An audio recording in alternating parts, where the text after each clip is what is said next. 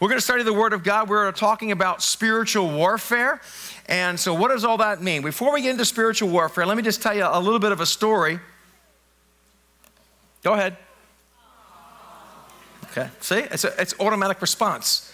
Uh, okay, there's a baby elephant, okay? Well, I heard of a gentleman that saw an adult elephant that was tied to a stake. And he couldn't understand why this elephant, why that little flimsy stake would hold him. And the circus gentleman told, well, what happens is when they're, whoops, when they're a baby, what happens is we put the, the, the chain around its leg and it can't pull away. And so as it tries over and of course we know elephants don't. Don't forget, like my wife, they don't forget. So I'm just kidding. My wife has a great memory. So anyhow, so what happens is you uh, elephants don't forget. So what happens is this elephant would try to pull itself away, and it just came to the conclusion this thing's too strong for me. And finally, when the elephant became full grown, it lived. It was inhibited by what the elephant believed. You see, maybe some of us today are limiting what God can do through your life based upon what you believe. You see, what you think about is so essential. It's the command center of your life and what you think about. And so often we limit what God can do through us based upon what we think about ourselves or other people. And God wants to set us free where we don't limit ourselves by what we believe. You see, the Bible says, For as he thinketh in his heart, so he is. It's so important to think rightly about your, the two most important things you can think about at any given time that will control your life is these two things. Are you ready? The first thing is what you think about God. And the second one is what you think about yourself. Those two thoughts and how you process will affect your entire life. And so today we're going to talk about how to win the battle in your mind because we are in a fight and what you and I think. Hitler, one of the wickedest men that ever faced on the planet, said this if you tell a big if you tell a big enough lie and tell it frequently enough, it will be believed. And that's what happens. There's a lot of misinformation in our lives misinformation how you grew up, what people said about you, right? And there's misinformation in our culture today as well. It's hard to, you have to verify what you hear, right? It's hard to believe anything anymore. On, on, all sides of the spectrum, no matter what you believe, no matter what industry you're involved with, people believe crazy things. I remember my parents a number of years ago sent me this article that said, AB, it said ABC World News. It wasn't ABC News, but it had the same fonts and it said something that was horrific about our president that I didn't believe. I said, There's no way that our president would do that. And I looked it up, and sure enough, it was a lie. You see? And there are false information out there. And so, what, if we're not careful, we can start believing a lie. And the enemy is called, by the way, a liar. And we are in a spiritual battle. And the Bible says this this is what Jesus says, and you will know the truth, and the truth will set you free. You see, the truth is not just an idea, the truth is a person. Jesus said, I am the way, I am the truth, and I am the light. He's not information, He is truth. And so we believe all truth is God's truth. We're not afraid of truth.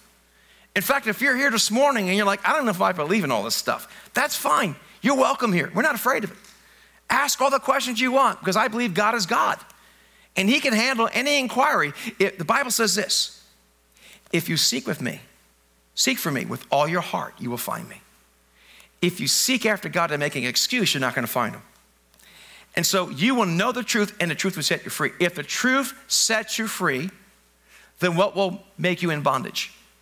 Lies. And so the enemy is called the father of lies. And it's very interesting. I just want to encourage you guys be, to be aware don't just drink the Kool Aid of the culture that gives you today. In fact, I was just reading this the other day and I did some little search. You know, Google is messed up. There's misinformation in Google. You do a search. I'm gonna listen, please understand what I'm ready to say. Okay, we love all people. Okay, but if this is, I did a test on this and it's true. If, I hope they fixed it by now, but if you go to Google and you write straight family, straight family, straight couple, whatever. And it comes up, the pictures, it will show alternative lifestyles within that. If you put white family, but please understand me, everybody, I'm married to a Latino, okay? And I love all ethnicities. But if you put white family, what happens is it comes up with multicultural, which is fine. But if you put black family, it comes up. So what's happening is sometimes the search engines, now listen, we want all people are valuable, but there are differences. God gave variety, right? And we love variety, a mosaic of people. We're better together than we are by ourselves. But because there's an agenda out there that people put in the program, the AI takes over, and now the AI is doing things that the programmers had no idea. They actually put in this new creative image thing, they put, they put down Vikings, and it was an African American. Vikings look like me, red beard. Right?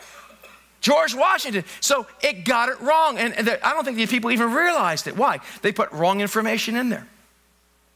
You're hearing wrong information about different people. You hear wrong information about candidates, wrong information about what's going on in our weather patterns and everything like that. You have to verify. Don't be gullible. Seek the truth. You will know the truth, and the truth will set you free. Listen, I'm not afraid. You should not be afraid. Please don't believe everything. Don't even believe what I say. What? Yeah. The Bible says when the Apostle Paul spoke, he said the Bereans are better than the rest because and when I spoke the word of God, the Bereans made sure what I was saying was true. In fact, in the last service, a gentleman came up to me and says, Pastor, I don't understand. You said that the days are evil. I thought the Bible says today is the day the Lord has made, and I will rejoice and I will be glad in it. Said, That's true. But Jesus said in Matthew 6, 33, 34, that seek first the kingdom of God and his righteousness, and all these things will be added to you as well. Therefore, do not worry about tomorrow. Sufficient is the day's evil. I said, what I meant to say, I didn't do a good job enough, is that every day is going to have evil in it, but we stand with God. So you're welcome to ask questions. Anyone who cannot, no one that, eh, listen, if you can't challenge somebody, they're probably not worth talking to. We're okay with being challenged. Does that make sense? If you're looking for a scapegoat and you're looking for a problem, that's one thing. But if you really want to search God, you will find him because God is truth. Even Richard Dawkins, the atheist, Richard Dawkins, I don't, I'm not a big fan of him. He's even saying that people are denying science now. They're denying science. And he was talking about what's going on with the reassignment, re, uh, reassignment surgeries and stuff like that. He said, Is it crazy? It goes against, and this is an eighth. I never thought I would be agreeing with Richard Dawkins. Because what's happened is we're believing a lie. Now, we can get angry at everybody, but the problem is you're going to be shadowboxing. You see, the visible war is won invisibly. Let me say it again. The visible war is won invisibly, invisibly, including in your life. How you think invisibly, no one sees, will eventually determine what you do with your hands. What you think goes to your heart, goes to your hands. So, what happens invisibly will become visible. That's why we got to make sure what we're believing, what we're eating upon, what we're thinking about, that it is correct and that it is truth. And we believe in truth. You see, the truth is not, is not an opinion, truth is truth. All right? So, and you will know the truth, and the truth will set you free. The, the Emancipation Proclamation happened on January 1st, 1863, where Abraham Lincoln signed it into law. So now slavery was, was abolished. Praise God. But even though that was signed, it took years for people to even know they were free. Some people didn't even know about the Emancipation Proclamation. In fact, our culture even had the remnants of this was in our culture. And we thank God for people like Martin Luther King Jr., who said the following We do not judge a man or woman on the content of the color of their skin, but the character of what's inside of them. I'm paraphrasing. And so, what's happened today is we're changing that. Now it's about change the outside to change the inside. No, it's about the inside that changes the outside. And so, we've made great strides, but it took a long time to get that out of our culture a slavery mentality. Even the Israelites were in slavery for 430 years, and Moses got them out of Egypt. But Egypt was still in the people. Send us back to Egypt. And he had to eradicate that slavery mentality. So, you want to change your life? change the way you think. I want to change my life, change the way I think. And so here's one of the movies. Don't look at it. It's a bit, it's very bloody, by the way, but it's a good movie. Anyhow, uh, spiritual warfare. We are in a battle. And we've been talking about that. Last week we talked about the shield of faith, and we are going together. We are called to fight together. Last week we talked about the shield of faith, and the kind of shield the Apostle Paul talked about are shields that line up together, interlock together, become a walking wall. And God wants us to be connected to Him and each other. And so can we, we'll give you a little bit of a background, what we talked about. Are you guys ready to go through the scriptures for a few moments? This is the context in which we're based this whole passage upon is the following. The Apostle Paul is writing while he's incarcerated, while he's chained to a Roman guard. Here, this is what he has to say on the inspiration of the Holy Spirit. We believe is scripture says this finally, be strong in the Lord, not yourself, and in the strength of his might, put on the whole armor of God, that you may be able to stand against the schemes, the devices of the devil. Now, there is a devil out there. Please understand that God is stronger than the devil. There's not a yin and a yang. He's a defeated foe. And the way he gets power is by lying how strong he is. You see, God is stronger. He's a defeated foe. He's only at one place at one time. I don't have time. You can go back and look at the series on cornerstonecheshire.com or Spotify or iTunes, and you can catch up to what we're talking about. But he's not stronger than the enemy, okay? And the battlefield is the world, your flesh, and the spirit. That's what happens. So if we do not wrestle against flesh and blood but against rulers, against authorities, against cosmic powers over this present darkness, against the spiritual forces and evil in heavenly places. Therefore, take up what? Take up means it's a command. Take up the whole armor, like a Roman like a Roman soldier. The whole armor of God that you may be able you are able to withstand. You can do it in the evil day. And having done all to stand firm, stand. Sometimes the best thing you can do, I am going to stand for what is right. I'm not going to back down. I'm going to stand. Stand therefore, having fastened the belt of truth. All right? And remember, everybody, we talked about the belt of truth. What's a belt of truth? Belt of truth was a central part of the armament. And there is truth. There's absolute truth. Truth is not subjective, it's objective. There's no such thing. I hear it all the time. My truth. You don't have your truth, you have your opinion, and you're welcome to your opinion. But don't call your opinion truth. You don't determine what's truth. Truth is something you don't determine, truth is set up ahead of time. You can't do that in mathematics, you can't do that in science. Hello, right? So there's truth. Therefore, take up the whole armor of God. Stand therefore having armor of God that you may be able to withstand in the evil day and having done all the stand, stand firm. Stand therefore, having fastened the belt of truth, and having put on the breastplate of righteousness, the right type of living of righteousness, and as the shoes for your feet, having put on the readiness given by the gospel of peace. In all circumstances, take up the shield of faith, that was last week, with which you can extinguish all the flaming darts of the evil one, and take, that's today, the helmet of salvation and the sword of the Spirit, which is the Word of God, praying at all times in the Spirit with all prayer and supplication. To that end, keep alert with perseverance, making supplication for all the saints. So we're to work together, we're to pray. So today we're talking about the helmet of salvation. Now, just to quickly review what we talked about, we just went through the armament, and the central piece of the armament is the truth. If you don't have truth, nothing else lines up. The breastplate of righteousness would be connected to the belt of truth. The sword would be there. Everything was, this is a central uh, piece of the armament. You wear it at all times, including the breastplate of righteousness. You wear it at all times. Gospel of peace, wear it all the time. You put your feet in the ground, you stand, you can advance. Very important to have good grip, all right? And today, it's the helmet of salvation. I just happen to have a helmet. And let me just tell you what happened. I ordered the first helmet, it looked really good online and you could put it on a squirrel's head. it's, it's ridiculous. I said, honey, what's this? She said, well, honey, you got to read the whole, exp- you have to read the whole thing. You don't just look at the pictures. And so she ordered me this. This came yesterday. I'm not going to put it on. Okay, I'll put it on. So here you have, it's, it's, actually, it's not bronze, it's plastic, but bronze. And what would happen, the military commanders, they would have various horsehair and they would color different colors. And this is how you knew who your leaders were.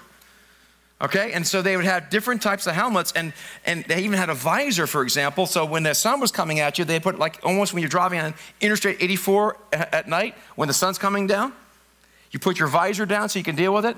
The enemy will throw you a bunch of distractions to blind you, but you got to put your visor down from your helmet, focus on the truth, keep your eyes where you need to go, not on the distractions.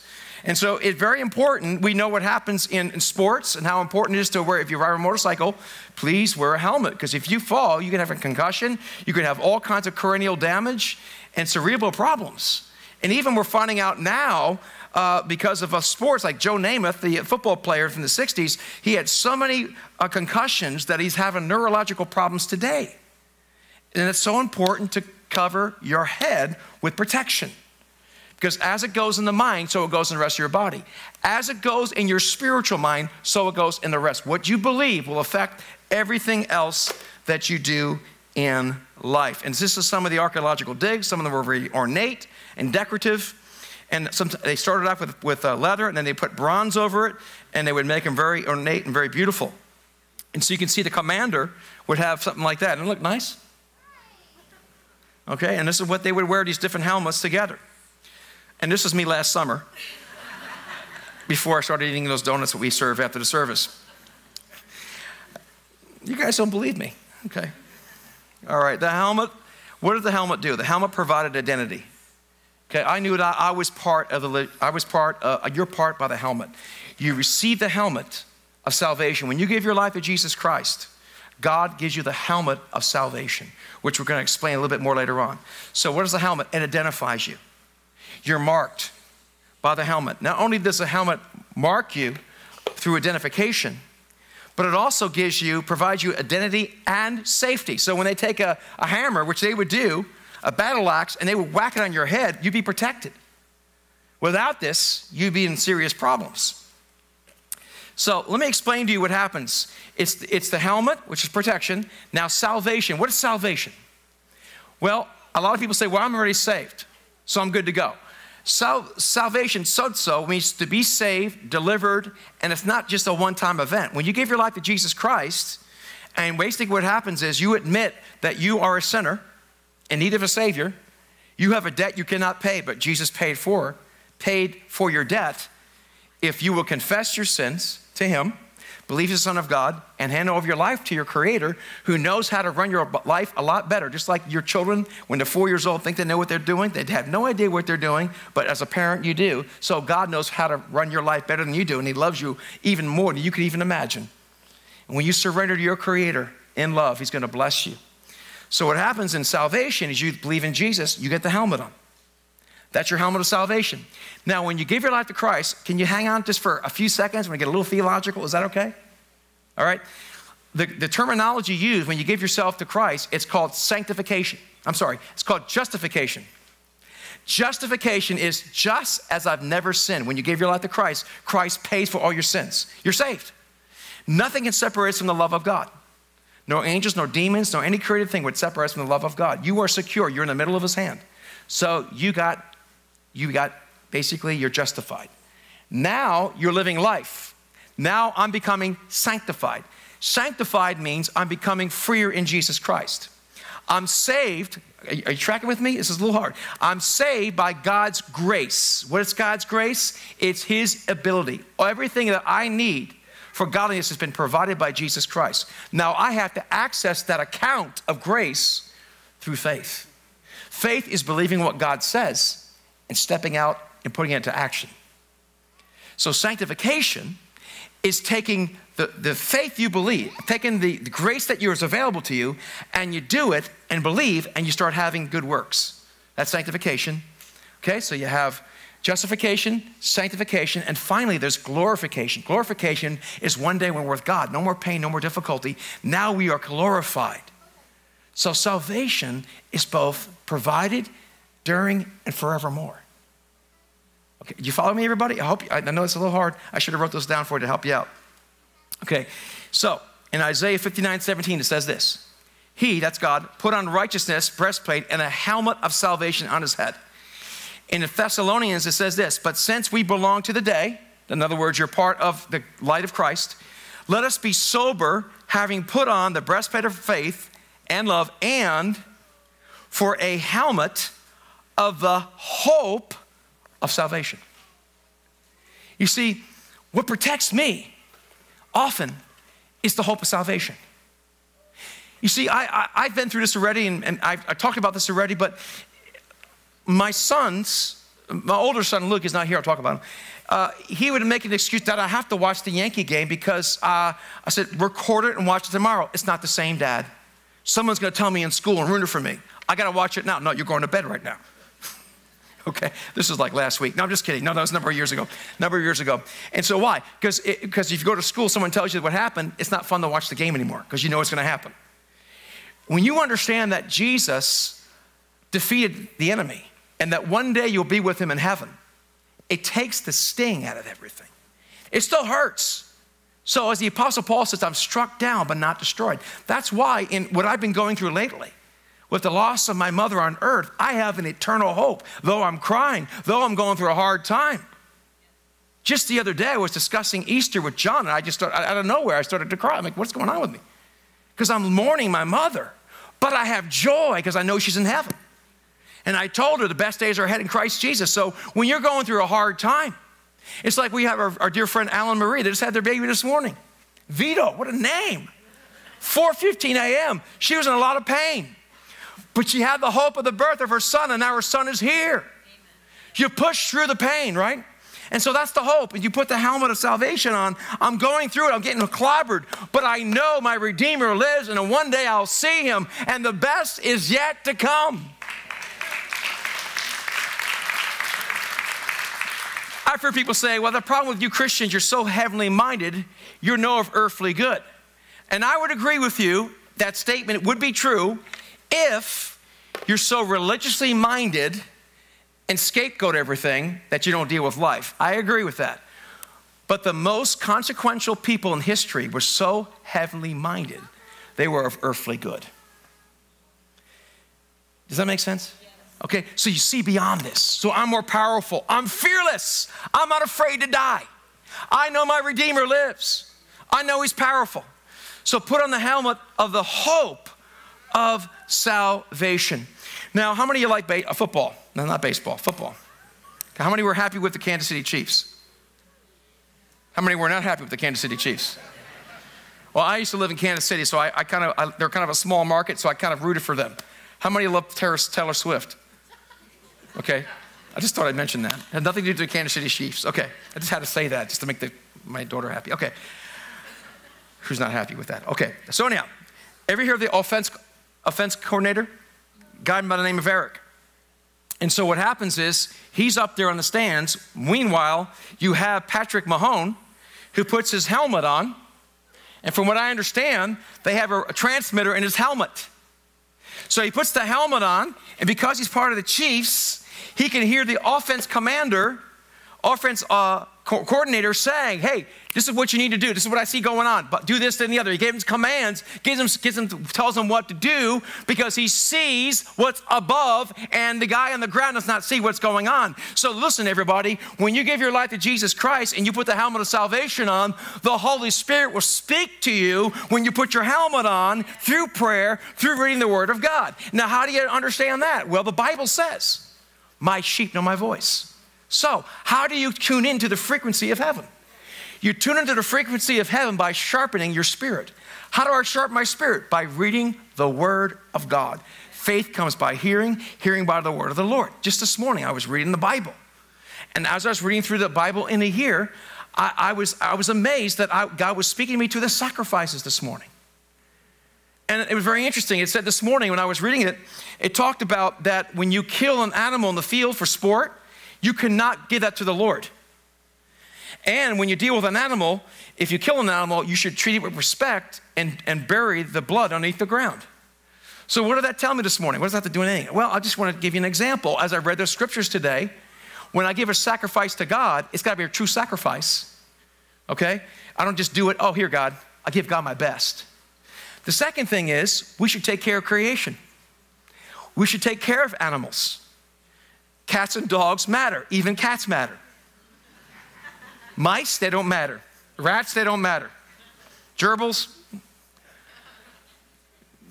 you, you, follow me? So I just read the Bible this morning. So it spoke to me, right? I heard God, and in effect, the Lord saying, Hey, what kind of sacrifice? Are you just giving me the half? Or you giving me the full sacrifice? So what happens is when I read the Word of God, I hear the Holy Spirit speak to me. The more often I hear the Holy Spirit, the more often I hear your voice. For example, I got Joe Scaramuzas over there. If he calls me up, well, now we have caller ID, but let's suppose it was an unknown caller. I picked it up. I, oh, hey, hey, Pastor. Oh, hey, Joe. I know his voice. Why? Because we spent time together, right? We shared salt together. We shared food together.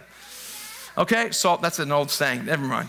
So, because I know his voice, I know my wife's voice, because I spend time with her. So, when you spend time in God's voice, you can begin to hear the coordinator in your mind, and you know what's of God and what's not of God. Do you follow me?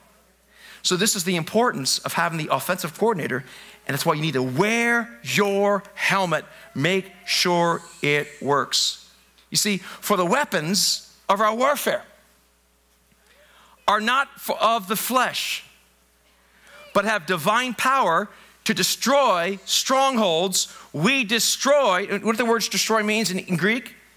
Annihilate, blow up, pulverize. I mean, don't even play around with it. And this is the New Testament. we destroy arguments and every lofty opinion raised against the knowledge of God and take now, notice, it's not saying that we go to town hall and, and yell at people. I'm not saying that. This is talking about the internal dialogue inside your head. Okay? So we got to do battle here before we do battle out there. So what happens? We destroy arguments. You're not going to be able to make it. You can't do it. You know what happened in the fourth grade.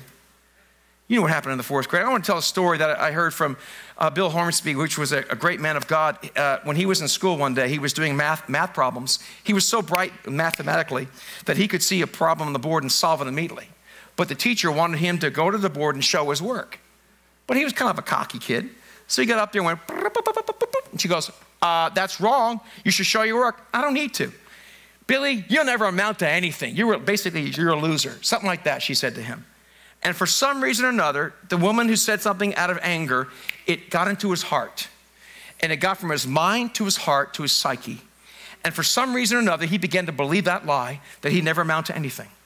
He kind of just barely got through school, became a drinker and did drugs a little bit, became a great musician, did works in clubs and all that. And then one day, he got a girl pregnant and he needed to get a job, a real job.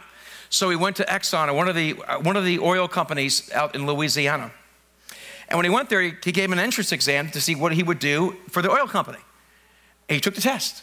The guy got the test back and said, Billy, I need to see you. I'm like, oh, great, I'm not gonna get the job. He gets there. The guy says this We've been doing this for many years. We've never seen anyone score as high as you did in your aptitude. Billy, you're gonna do great things. The curse that the woman said, they didn't realize it, he heard the truth, and his life turned around. He became a great church planter. He became a great man. And his daughter, his daughter ended up marrying the, the, one of the top pastors in the world because of this guy, because he heard the truth. So I want to encourage you. We want to destroy arguments that are lies. Maybe you're thinking there's nothing else I can do, just the way I am. This is the way I am. You are you cannot control yourself. I've even heard this by their way. Well, those people that have a murder, they have a criminal gene in them. They can't help themselves. So we shouldn't punish them. We shouldn't incarcerate them because they have a criminal gene. It's in their DNA. Now, it may be true you have a, uh, you may have a, a, bent in that direction. Maybe there's a, some problems like that. But what we've done is we've blamed everything that you are a victim of circumstances. You know what the Bible says? Whoever's in Christ is a new creation. All things have passed away, behold, all things are new. Do you realize I really like the 12 step program? It's very, very good because only way you can get healed is you have to take ownership of your problems. Once you take ownership of your problems, you can give them away. You can't give away your problem if you don't own it. Does that make sense? If I don't own something, I can't give it away. So you own it. So, for example, I'll say, My name is Eric and I'm an alcoholic. I'm not an alcoholic. I'll put that on the internet. I'm an alcoholic. So I'll go to AA, right? And so I go there. I'm I'm at 30 years now. I've been clean. I've been dry for 30 years. My name is Eric, and I'm an alcoholic. I've been clean for 30 years. Now, as good as that is, it's actually wrong biblically. What I should be saying is this I'm a child of God. I'm a new creation in Christ Jesus. I used to be an alcoholic, but now I am free. I'm a child of God. I am not controlled by alcohol, I'm controlled by the Spirit of God. You see, and so what you want to do is tell yourself the truth. Because one of the things that in the Greek it says about the helmet, when we look at the Greek word for helmet, it means wrapped around your head, and the word used in the Greek says road. A road that's wrapped around your head that protects you. Do you realize every time you think a thought, you make a road? You think back to that Bill, Bill Hornsby, when he thought about that happening in his grade school, he had a road. I'm a loser, I'm a loser, I'm a loser. I never make out to anything. And he had a big, big highway in his life. But when he learned the truth, what did he do? He, he replaced the lie with truth. And what did he do? He planted grass seed where those lies were and put truth there. And now he believes things about himself. Just because you went through a divorce, just because you struggled with something, just because last night you blew it, does not mean that God can't work through you. Your sin does not define you. Your Savior defines you. Your behavior does not define you. Your Savior defines you. Now, listen, everybody, we mentioned last week, this is so important. I, the Bible says you're under no obligation to obey your lustly flesh. You don't have to do what your body tells you to do. You are not an animal. You are made in the image of God. In fact, the Bible says, I mentioned it last week, I'll say it again no temptation is overtaking you, but what is common to man. And God is faithful. We're not allowed to be tempted more than you're able. But with every temptation, will provide you an avenue of escape that you could be stand unto it. Therefore, thank you, God, that I have the power not to blow my top. I'm Italian. I like to blow my top. Okay. No excuse. At least I'm not Irish.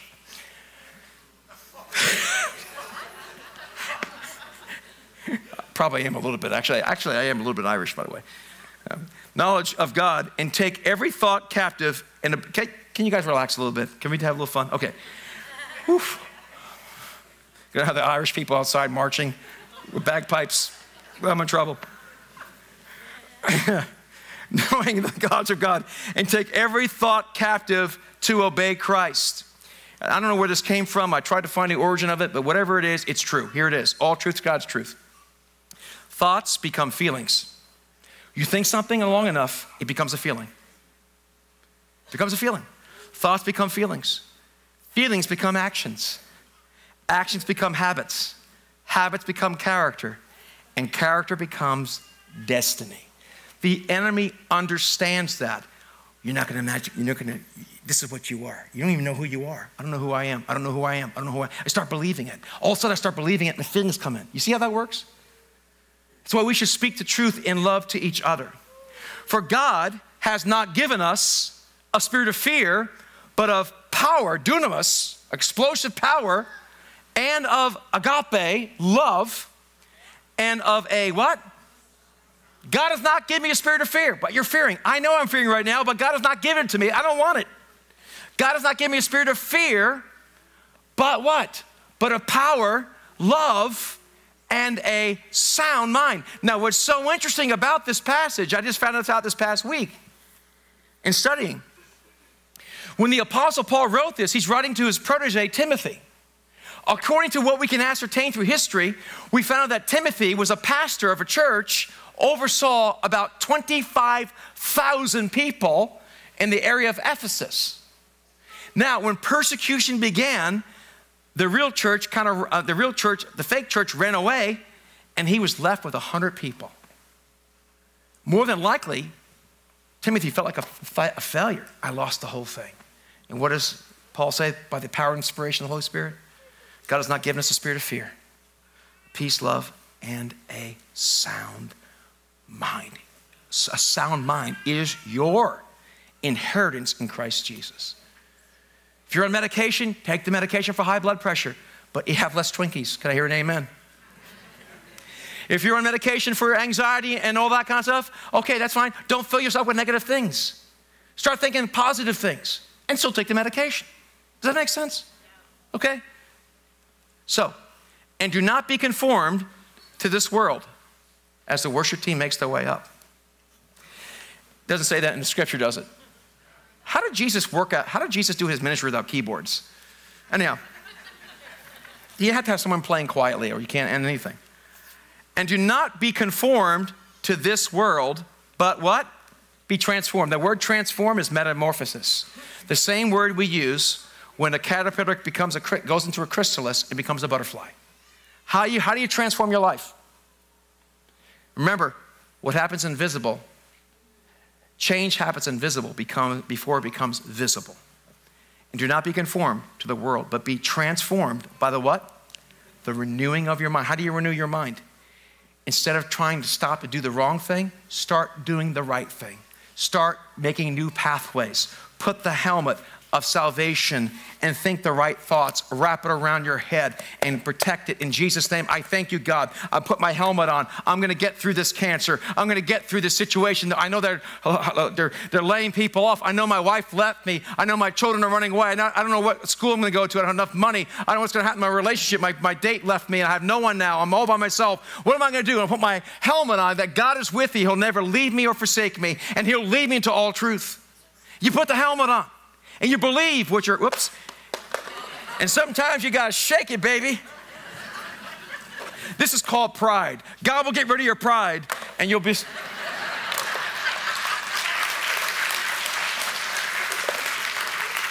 Don't do this at home, leave it to the professionals. Just kidding. All right. Renewing your mind that you may prove what is good and what is acceptable and perfect will of God. We are transformed by the renewing of your mind. Whatever you focus upon, whatever you think about, you will become. What are you focusing on? Are you focusing on truth or lies? The enemy is a liar. Don't believe the lies. Let God be true and every other man be a liar. I am a new creation in Christ Jesus. I am not, I am a new creation. I can do all things through Christ who strengthens me. Shall we pray? Father, thank you so much for this opportunity, Lord, to hear about your word today. Father, I've done my best at this moment to try to convey the importance of wearing our helmet of salvation. Father, in Jesus' name, we want to repent for thinking wrong thoughts, for letting the enemy speak lies to us. Lord, we've listened to lies, we've entertained lies. And today we say no to lies. Jesus, you are the way. We do your way. You are the truth. We listen to your truth. And you are the life. Father, I pray right now in Jesus' name that you'd break off that someone's, someone's thinking I'm ugly, no one's ever gonna want me. In Jesus' name, that's a lie. You are beautiful, you're made in God's image, and God loves you and you're valuable in Jesus' name. Someone else is thinking, I can never get rid of this addiction. Yes, you can through Christ Jesus. Your sin does not define you, your Savior does in Jesus' name. And yes, that marriage can be saved in Jesus' name. Father, we thank you that nothing's too difficult for you. I ask right now that you touch every single person. Lord, we want to put our helmet on, we want to be transformed. We want to hear the offensive coach. We want to hear the Holy Spirit speaking to us in our helmet of salvation, giving us ideas and understanding in Jesus' name.